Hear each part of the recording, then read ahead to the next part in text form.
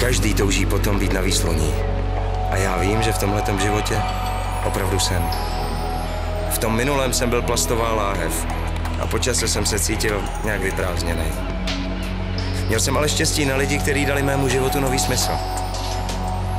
Ze dvou kil plastového odpadu bude dost plastu na záchranný kruh a další užitečné věci. Má to smysl. Třiďte odpad.